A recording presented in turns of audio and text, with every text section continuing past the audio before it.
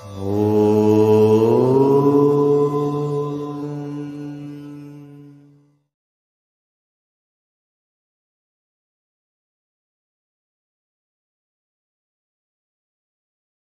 સૌનું હાર્દિક સ્વાગત છે.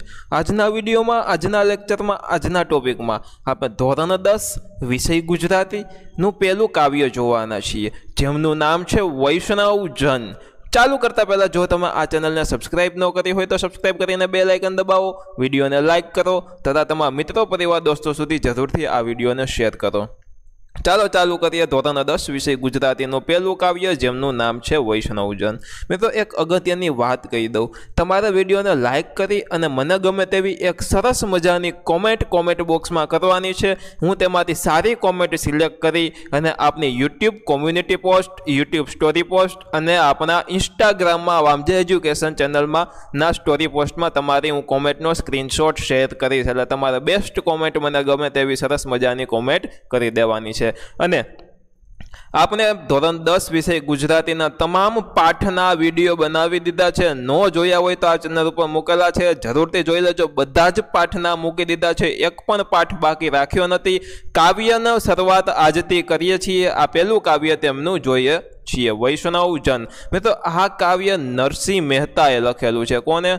તો કે નરસિંહ મહેતાએ લખેલું છે. સમય, તો કે ઈસવીસન પંદરમી સદીમાં લખેલું છે. પર્ટિક્યુલર સમય નથી આપ્યો, સદી આપી છે કે પંદરમી સદીમાં તેમને આ કાવ્ય લખેલું છે. નરસિંહ મહેતાનું ચિત્ર અહીંયા તમે જોઈ શકો છો.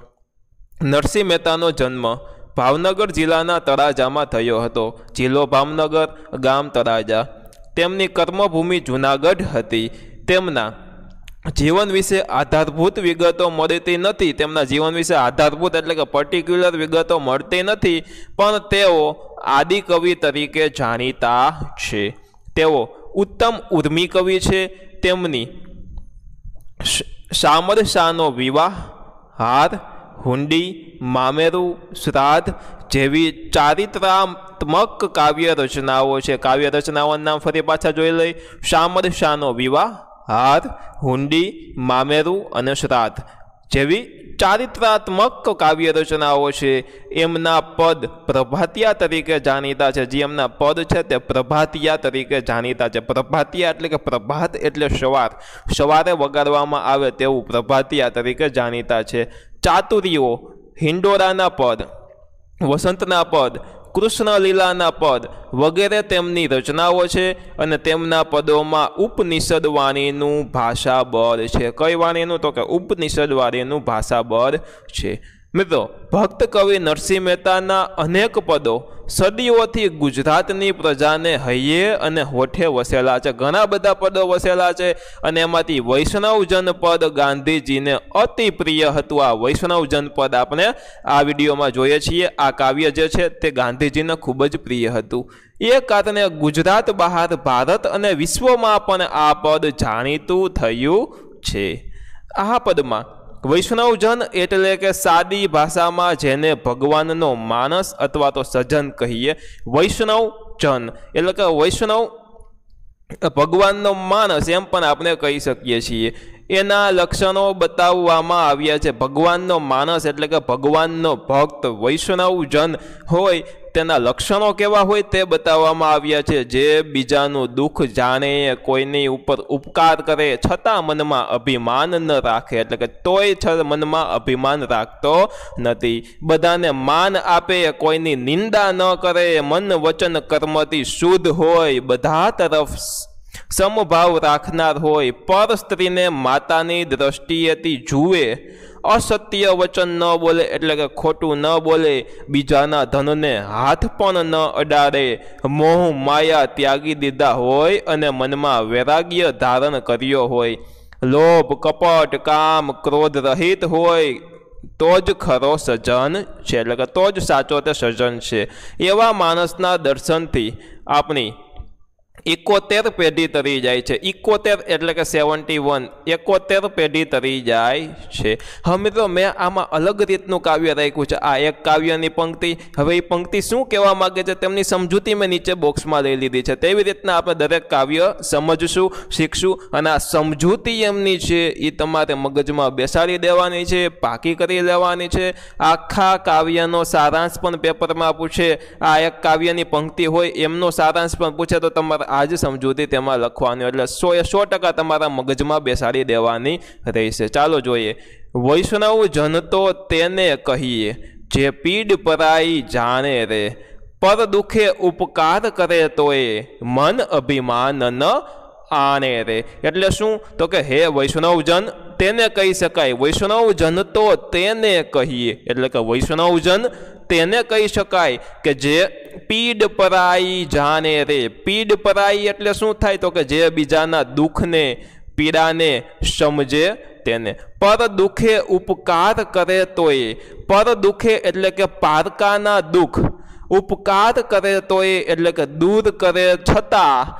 મન અભિમાન ન આને રે મન અભિમાન ન આને રે એટલે કે મનમાં ઉપકાર કર્યાનું સહેજ પણ અભિમાન ન આવવા દે સાચો વૈષ્ણવજન તેને જ કહી શકાય કે જે બીજાના દુઃખોને, પીડાને સમજે, પારકાના દુઃખ દૂર કરે, છતાં મનમાં ઉપકાર કર્યાનું સહેજ પણ અભિમાન આવવા ન દે. પહેલી પંક્તિનો અર્થ સમજા હવે જોઈ બીજી. સકર લોકમાં સહુને વંદન, નિંદા ન કરે કેની રે? વાચ, કાચ, મન નિશ્ચલ રાખે. ધન ધન જનની તેની રે. જોઈએ તો કે વૈષ્ણવજન સમગ્ર વિશ્વમાં સૌને વંદન કરે. સમગ્ર લોકમાં સકર લોકમાં સકર એટલે કે સમગ્ર લોક એટલે કે વિશ્વમાં વિશ્વમાં સહુને વંદે એટલે કે સૌને વંદન કરે. નિંદા ન કરે કેની રે એટલે કે અર્થાત સૌને આદર કરે અને નિંદા ન કરે એટલે કે કોઈની ટીકા કે નિંદા કરતો નથી. વાચ કાચ મન નિશ્ચલ રાખે અને પોતાની વાચ એટલે કે વાણી, કાચ એટલે કે ચારિત્ર, મન એટલે કે મન નિર્મળ, પવિત્ર રાખે નિશ્ચલ એટલે કે પવિત્ર રાખે. ધન ધન જનની તેની રે. એવા વૈષ્ણવજનની માતાને ધન્ય છે. ફરી પાછું તેમનો અર્થ જોઈ લઈ. વૈષ્ણવજન સમગ્ર વિશ્વમાં સૌને વંદન કરે છે. એટલે શું થાય? તો કે અર્થાત સૌનો આદર કરે છે. કોઈની ટીકા કે નિંદા કરતો નથી અને પોતાની વાણી, ચરિત્ર અને મન નિર્મળ એટલે કે પવિત્ર રાખે છે એવા વૈષ્ણવજનની માતાને ધન ધન જનની તેની રે. એટલે કે એવા વૈષ્ણવજનની માતાને ધન્ય છે. સમગ્ર દ્રષ્ટિને તૃણા ત્યાગી પરસ્ત્રી જેને માત રે જીહવા થકી અસત્ય ન બોલે પરધન નવ ઝાલે હાથ રે એટલે કે વૈષ્ણવજન સૌની સાથે સમભાવ રાખે સમદ્રષ્ટિને તૃણા ત્યાગી એટલે કે સૌની સાથે સમભાવ રાખે એને ઈચ્છા અને ક્યાં કામનો ત્યાગ કર્યો હોય છે પરસ્ત્રી જેને માતરે એટલે કે પરસ્ત્રીને માતા સમાન ગણે જીહવા થકી અસત્ય ન બોલે એટલે કે એ જીભેથી ક્યારે અસત્ય એટલે કે ખોટું બોલતો નથી જીહવા એટલે કે જીભ થાય શું થાય જીભ યાદ રાખજો જીહવા એટલે કે જીભ અસત્ય ખોટું બોલતો નથી પરધન નવ ઝાલે હાથ રે તેમજ પરધન એટલે કે પરાયા ધનને કદી હાથ અડકારતો પણ નથી. ફરી પાછું જોઈ લઈએ અર્થ. વૈષ્ણવજન સૌની સાથે સમભાવ રાખે છે. એને ઈચ્છા અને કામનો ત્યાગ કર્યો હોય છે. એ પરસ્ત્રીને માતા સમાન ગણે છે. એ જીભેથી ક્યારે અસત્ય ખોટું બોલતો નથી. તેમજ પરાયા ધનને કદી હાથ અડકારતો નથી. એટલે કે અડાડતો નથી. આગળ જોઈએ. મોહ માયા વ્યાપે નહીં તેને. દ્રઢ વૈરાગ્ય જેના મનમાં રે રામ નામ શું તારી રે લાગી શકર તીરથ તેના તનમાં રે મોન, મોહ માયા વ્યાપે નહીં તેને. એટલે કે જેને મોહ માયામાં આ શક્તિ ન હોય, દ્રઢ વૈરાગ્ય જેના મનમાં રહે જેના અંદરમાં દ્રઢ વૈરાગ્ય હોય. રામ નામ શું? તારી રે લાગી. એટલે કે જેને રામના નામથી લગ્ની લાગી હોય, એટલે કે રામના નામની ધૂન લાગી હોય, લગ્ની લાગી હોય તેમ કહીને આપણે, એટલે કે રામના ભક્ત હોય, એટલે કે રામના નામની લગ્ની લાગી હોય, એવા વૈષ્ણવજનના તનમાં જ સઘરા તીરથ રહેલા છે. સકર તીરથ તેના તનમાં રહે એટલે કે એવા સઘરા તીરથ તેમના મનમાં જ રહેલા છે. જેને મોહમાયામાં આશક્તિ ન હોય, જેના અંતરમાં દ્રઢ વૈરાગ્ય હોય, જેને રામના નામની લગ્ની લાગી હોય, એવા વૈષ્ણવ જનના તનમાં જ સગરા તીર્થ રહેલા છે. વન લોભીને કપટ રહિત છે કામ ક્રોધ નિવાર્ય નિવાર્યા રે ભણે નરસૈયો તેનું દર્શન કરતા કુર ઇકોતેર તાર્યા રે એટલે શું થાય? તો કે વન લોભીને કપટ રહિત છે. એટલે કે આ વૈષ્ણવજન કપટ કે ક્રોધ વિનાનો હોય છે. કામ ક્રોધ નિવાર્યા રે એટલે કે કામ ક્રોધ પણ તેને વિજય મેળવ્યો છે.